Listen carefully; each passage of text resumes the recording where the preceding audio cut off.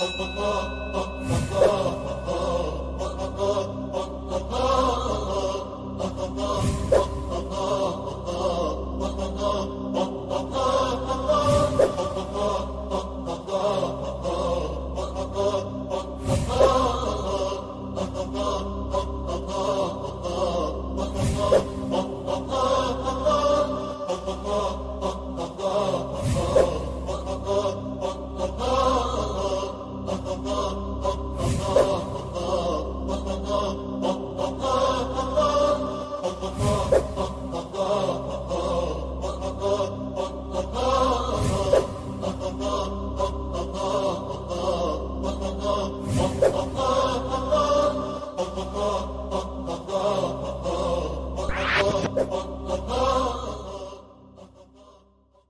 بسم الله الرحمن الرحیم. به نام خالق آسمان ها و زمین. همراهان خوب برنامه دریچه دانایی شاگردای خوب صنف هشتم سلام. وقتتان بخیر. امیدوار هستم که حال همه شما عزیزان خوب باشه و روزگارتان به لطف خدا به خوبی و خوشی سپری کنید. شاگردای عزیز امیدوار هستم که درس گذشته را به خوبی خوانده باشید. و انشالله در بخش ارزیابی درس گذشته شما خوب خوب موفق شوید و پاسخ مناسب و صحیح بدید.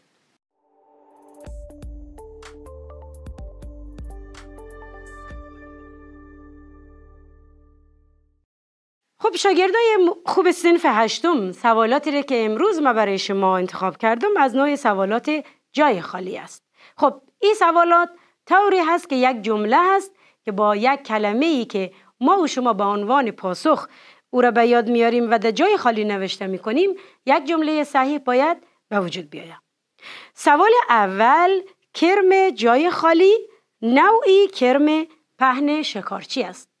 قبل از اینکه نام کرمه بگیم ما برای شما بگیم که مبحث کرمه ها در جلسه گذشته به پایان رسید. فایلم کرمه های پهن فایلم کرمه های مدور و حلقوی را خواندیم و چون امروز یک فایلمی از جانداران غیر فقاریه جدید را شروع می‌کنیم.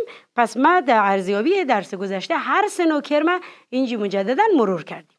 خب کدام نوع کرم بود که پهن هم باشه شکارچی هم باشه؟ او کرم؟ بله آفرین پلاناریا نام داره. سوال دوم شیستوزوما نوعی کرم جای خالی است. خب کرمو رو اگه به یاد داشته باشین در کنار پلاناریا شیستوزوما کرم جگر گوسفند و کرم کدودانه ها را ما و شما متعلق به کرم های پهن خواندیم. پس شیستوزوما نوعی کرم پهن است. سوال سوم جای خالی کرم جگر گوسفند از علف آلوده به دام منتقل میشه. خب در این جا خالی ما و شما در ابتدای سوال کلمه چی رو باید قرار بدیم؟ چه بخشی از کرم جگر گوسفند؟ یعنی در کدام مرحله چرخه حیات کرم جگر گوسفند هست که در علف آلوده به نبات می‌رسه؟ اگر به یاد داشته باشید ایره در قالب سوالات صحیح و غلط هم قبلا برای شما گفتیم. لارو باید باشه. لارو کرم جگر گوسفند از علف آلوده بدام منتقل میشه. لارو همون نوزاد یک کرم هست. سوال چهارم. در اثر نپختن گوشت گاو احتمال ابتلا به کرم جای خالی وجود داره. خب ما و شما گفتیم که کرم کدودانه گاو بر اثر کامل نپختن گوشت به ما منتقل میشه. اگه به خاطر داشته باشید گفتیم گوشت ها را باید کامل و در مدت زمان زیادی پخته شود و به صورت نیمه خام و کبابی کمتر استفاده شود. به دلیل ای که ممکنه خدایی نخواسته مبتلا به کرم کدودانه باشه سوال بعدی کرم کخ در جای خالی تخم ریزی می‌کنه خب کرم کخ و کرم آسکاریس جزء کرمهای مدور بودن اگر به یاد داشته باشید کرم کخ یا همو اکسیور گفتیم که در کودکان رایج بود. در اطراف مقعد بیشتر تخم ریزی می‌کنه مکان تخم ریزی هم مهم بود چون دیگر سایر کرم ها در امعا و یا مانند شیستوزوما در خون تخم ریزی می‌کرد. اما کرم کخ در اطراف مقعد تخم ریزی می‌کنه آسکاریس حتی ممکن است با جای خالی از بدن خارج شوند. گفتیم کرم آسکاریس به داخل هنجره به داخل ششها و خود به قسمت های فوقانی بدن میرسانه که حتی با صرفه و یا عدسه از بدن خارج میشه. پس در این جای خالی اگه کلمه صرفه و یا کلمه عدسه نوشته شوه هر دوی اینا صحیح هست. سوال آخر جهت حاصل خیزی خاک از کرم جای خالی استفاده میشه. خب کرم سوم فایلم کرم های حلقوی بود که شامل دو نوع کرم بود. یکی جوک یا زالو و دیگری کرم خاکی یا کرم زمینی. خب در این جای خالی ما و شما باید کرم خاکی را نوشته کنیم. بعضی خاطر که گفتیم کرم های خاکی با خوردن خاک و ذرات برگ های نباتات او بخش های برگ مورد استفاده قرار میده و ذرات خاک مجددا از بدنشان خارج می‌کنه و این سبب ایجاد سوراخ ها و فضاهایی به داخل دانه های خاک میشه که سبب حاصل خیزی و افزایش مقدار اکسیژن آب در خاک میشه و اون نبات ما و شما محصول بهتری را میده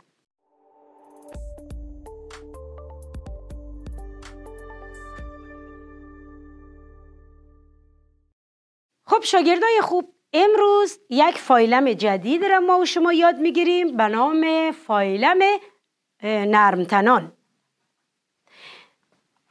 فایلم نرمتنان.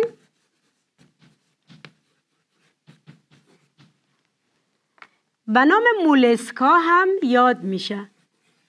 خب با چند نوع حیوان متعلق به این فایلم امروز آشنا میشیم؟ حلزون هشت پا یا اکتاپوس و صدف ها یا دو ها این سه گروه از موجوداتی هست که متعلق به فایلم نرمتنان یا مولسکا هست. اما ویژگی های اینا چی هست و اینا چگونه و دارای چه سیستم هایی هستند؟ با یکدیگر اینا را می‌خوانیم. ساختار بدن نرمتنان. خب دقت داشته باشید شاگردای خوب بدن این حیوانات یا بدن این نرمتنان دارای سه بخش است. سر پا و احشا. احشا یعنی بطن. یعنی یک بخش ابتدایی مانند بطن یا شکم به اصطلاح. خب بعضی از این حیواناتی که متعلق به فایلم هستند پاهایشان به سر چسبیدن. مانند همین اکتاپوس یا هشت پایی که در شکل می‌بینید.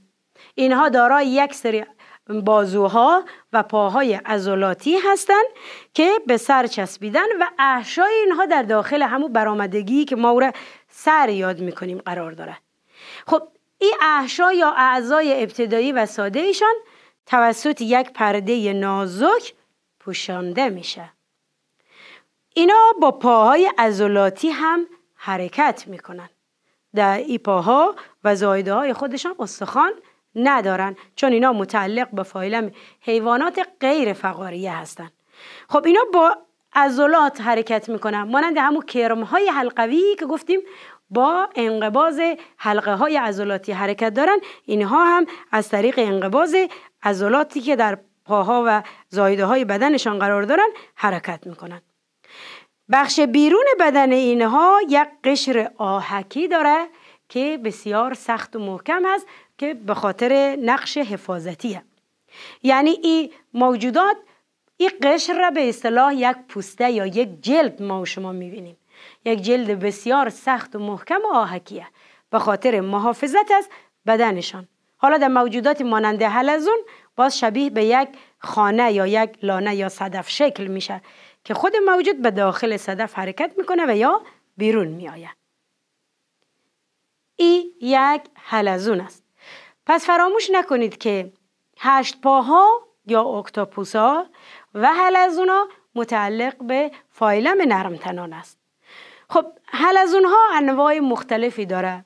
بعضی از حلزون ها ای پوسته یا او بخش خانه ای که به روی خودشان داره و حرکت می‌کنه و او رو با خود جابجا جا می‌کنه به این صورت هست که حلزون کامل به داخل از او میره اون حلزون های قیفی شکل که در سنف 11 اونا رو می‌خوانید که به لابلای علف ها و درخت ها میچسبه.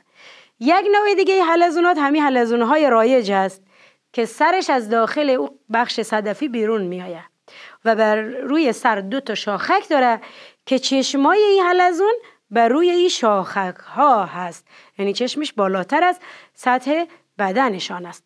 خب حلزون ها به همین دلیل چون انواع مختلفی داره بعضی اینا از طریق پوست بعضی از طریق برانچ که همون لوله ها بودن و بعضی از طریق شش ها یا ریه هایشان تنفس می‌کنن.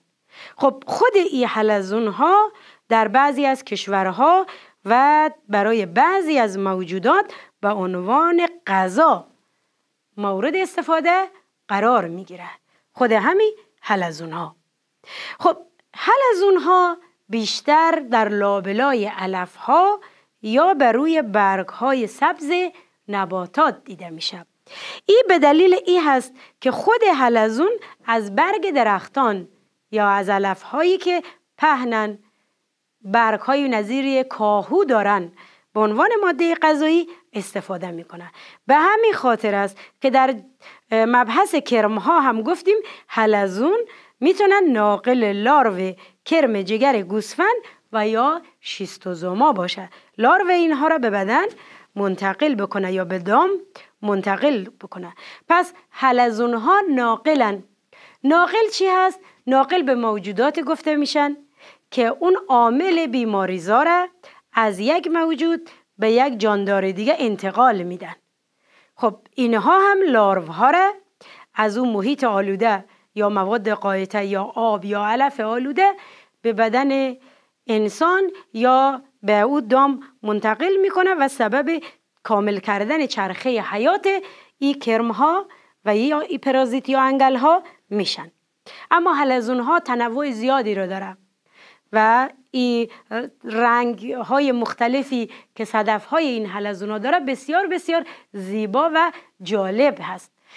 فراموش نکنید شاگردای خوب در سنف 11 انشالله اینا رو باز بیشتر و بیشتر می‌خوانید. یعنی حلزون ها را با سیستم تنفسی با سیستم تکسری با سیستم حازمه اینها حتی بیشتر آشنا میشید. این حلزون ها دارای پاهای بسیار خرد هست. طوری که ما اصلا پاها را نمی‌بینیم. یک پاهای بسیار کوتاه و عضلاتی داره و بسیار بسیار هم آهسته حرکت می‌کنه. و هر زمانی که از محیط احساس خطر کنه به داخل این صدف یا لانه ای که در پشت خود حمل می‌کنه فرو میره و در اونجا پنهان میشه. ای هم به خاطر نیاز به بقای موجودات زنده هست که یک غریزه ذاتی هست و خود به خود از عامل خطر فرار می‌کنه.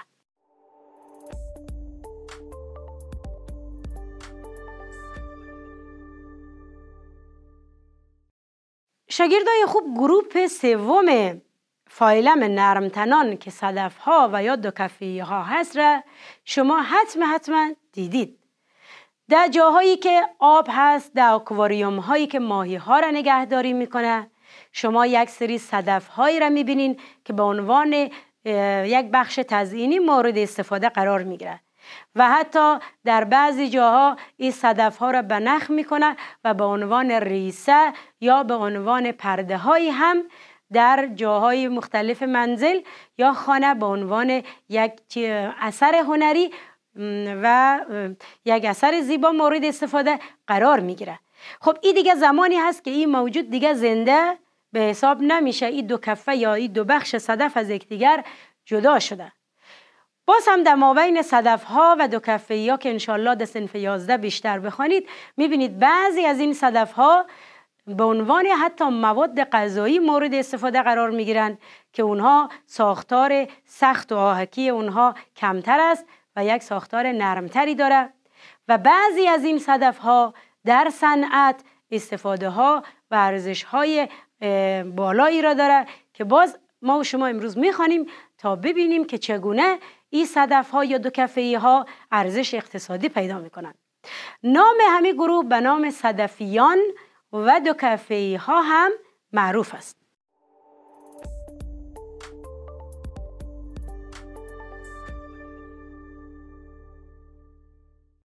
شاگردای خوب در دو تصویر که در اسلاید آوردیم. شما این صدف ها را می‌بینید که هم به شکل طبیعی با رنگ های طبیعی که در این تصویر شما می‌بینید و هم صدف های رنگ شده را در این بخش مشاهده می‌کنین که بسیار بسیار زیبا هستند. هر صدفی را که اگه شما دقت کنید در انتها یک قسمت صاف و قسمت افقی شکلی داره که محل انتصال دو کفه یا دو صدف هست که زمانی که این موجود میمیره و بخش داخلیش از بین میره و مورد تجزیه قرار می‌گیره این صدف های اینا باقی میمونه و گاهی وقتا اینا به ته دریاها به کف دریاها رسوب می‌کنه و به کمک اسفنج ها تشکیل تپه های مرجانی و یا تپه های صدفی بسیار زیبایی را میدن. خب صدفیان یا دو کفه ها یک سری ویژگی هایی را داره که ما و شما یاد می‌گیریم. هرگاه ریگ و یا یک جسم خارجی به داخل صدف قرار بگیره این زمانی که هنوز این صدف زنده هست شروع می‌کنه به ساختن یک لایه یا یک پوشش درخشان آهکی. که این پوشش درخشان آهکی با تغییرات کیمیاوی و بیولوژیکی که به روش انجام میشه تبدیل به یک بخش سنتی و با ارزش به نام مروارید میشه که حالا از این مروارید ها استفاده های مختلفی را میشه. در تزئینات در گلها و در موارد زیادی مورد استفاده قرار می‌گیره. خب در این تصویری که در پایان درس امروز ما و شما آوردیم این صدف در وسط این جانداران صدفیان یا دو کفه های مروارید نشان داده میشه که این مروارید ها بسیار بسیار زیبا هستند اینها رنگامیزی میشه و مورد استفاده قرار می‌گیره.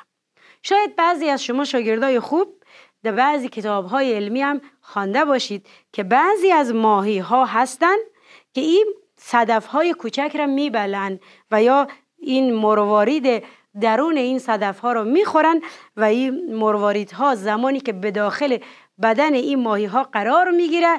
باز یک شکل زیباتر و درخشنده تری را به خودش می‌گیره که زمانی که این ماهی ها شکمشون باز میشه این مرواریت ها از داخل شکم ماهی ها خارج میشه.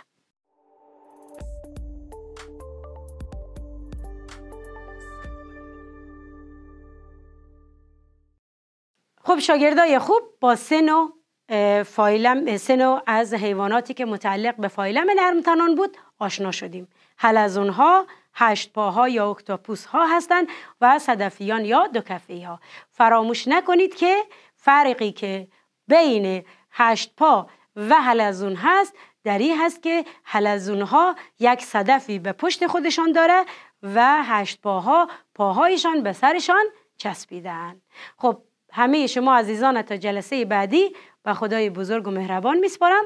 درستان خوب خوب بخوانید. انشالله که در پناه خدای بزرگ و مهربان پیروز و سربلند باشید.